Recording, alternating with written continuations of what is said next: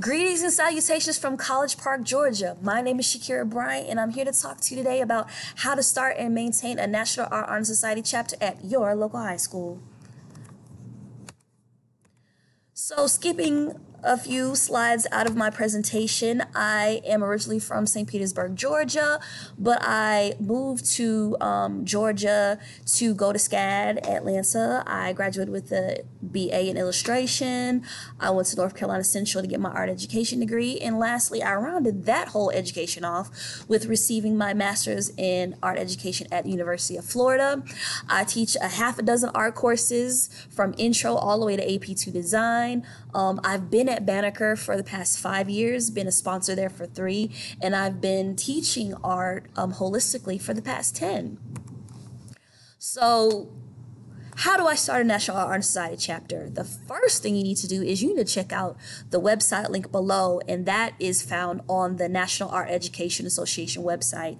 And it has a specific link for um, to start a National Art Society chapter. So there you get to read about creating bylaws and about how much dues are and when all of the deadlines are. So again, start there to begin with. And then think about these things that you want to ask your administration. Okay. Is there a stipend? If there is, cool, because they won't give it to you if you don't ask, right? Is there a budget for after school activities? And then for me, the most important one was will I have access to transportation for students after school? Now, BC, which was before COVID, there was a sweet bus that used to come to Banneker High School to kind of be a catch all for students who were participating in like FBLA and all that kind of stuff.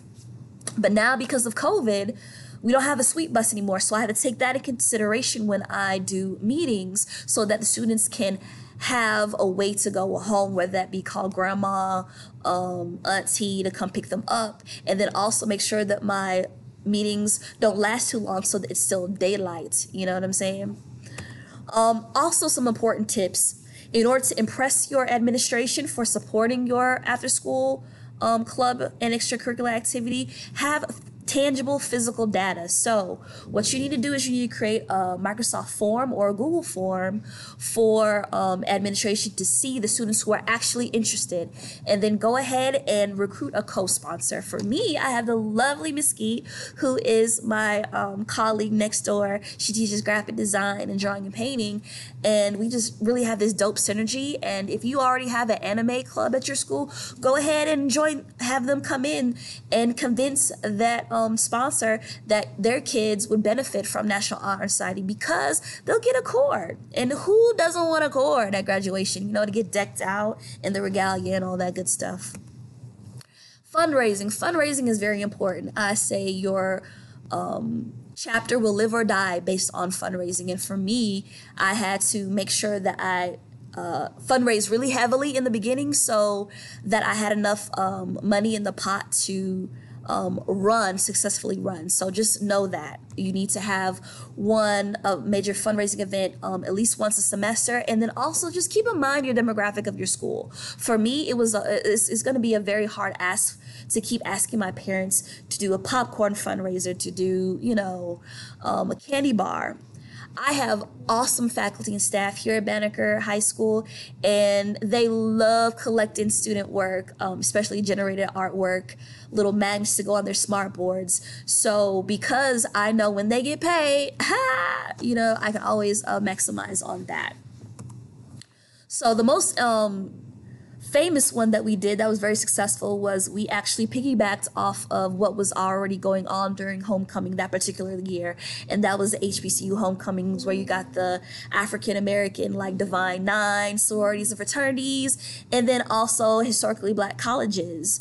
Um, so the teachers were really psyched about it so i had my national art honor society chapter members help me prepare canvases for the sip and paint and it was a major like to do. And we also invited the Banneker High School Band to play a little something. So, again, to build the positive culture at the school, um, show togetherness, and check off all those little boxes on your TKES. Amen. So, just think about that when it comes to fundraising. It can be all encompassing, right?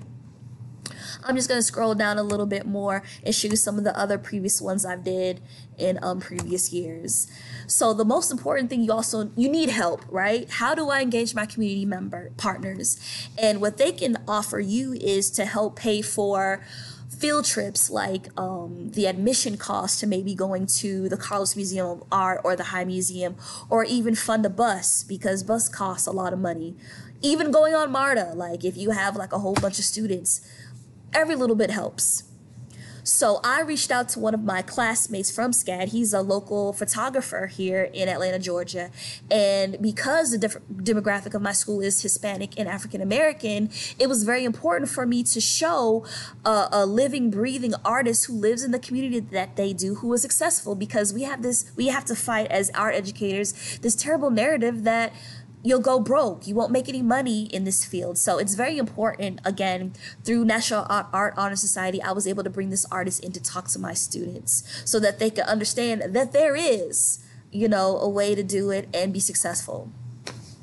Also, um, Facebook Atlanta chapter, which I didn't even know about, they contacted me. You know how they do. Um, they wanted to reach out and sponsor a Black History art show for my students, and that was really dope because again, they paid for everything, and on top of that, the students got to have tangible money. So each artwork that they created they got paid $50. And again, that brings home to the parents and to the students that what you make matters and it is great and it is awesome. And again, that was something that they were able to receive in real time. Okay, legit. I'm just going to now show you some highlights from our chapter. Even though we are small in number, we are big in heart. And these are some amazing students. Again, this was prior to COVID. So this is a. Uh, some pictures of us going to Georgia State University because again, that piece, I wanted them to make sure that even though Miss Bryant got a degree from SCAD, Miss Bryant is still paying off that student debt, right? And you can go to Georgia State, you can go to Kennesaw State, you can even go to Valdosta State and have a great comprehensive art education, right? Without going broke. Um, you need to also go to the National Art Society conferences, and there's also like National Art Honor Society juried art exhibitions that your students can then um, be able to showcase their work in. So National Art Honor Society doesn't have any uh, cons, if you ask me. Um, again, they got to um, Experience SCAD, and these are um, some images of our officers. We actually had two co-presidents, one male and one female, because we just couldn't decide. Like it just wasn't fair. So again, you run your National Art Society chapter how you want to. Okay, it is your world. I also like to do printmaking tutorials because even though I teach everything under the sun, I don't have enough time to actually have a devoted printmaking course at Banneker High School. So I then use that time after school during National Art Society to have the kids experiment with different media that they can't get during the school day. Here is some exhibitions that the students were able to do at Banneker High School. Again, some field trips, Carlos Museum, and then they were able to see Virgil Abloh, which they were real geek. You see all these kids or whatever. I didn't even think we had that many members of National Honor Society, but when I sent out that permission slip, like it was like every Tom, Dick, and Harry wanted to come. So as you can see, Virgil Abloh is amazing. He's a great African American um, fashion designer. So again, that tie-in, that buy-in that the students will be able to see somebody who is successful making art that looks like them, right?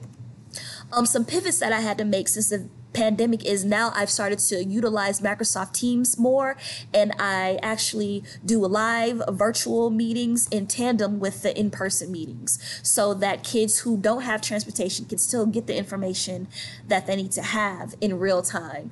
Like while they're on the bus, they can just connect on their cell phones using Microsoft Teams. And this is what the platform looks like. Um, there you see the National Art Honor Society um, link right there. And then here is what it looks like in the channel or in the team. Again, I post meeting messages. I posted the video link so that they kind of know where to see it. And they are in tandem. So the kids who I don't see, the kids I do see, they still have the same information. Um, any questions or concerns?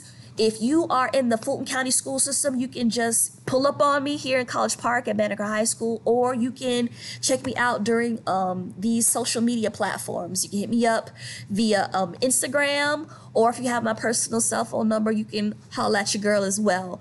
Um, I hope you enjoyed my uh, TED Talk about National Honor Society.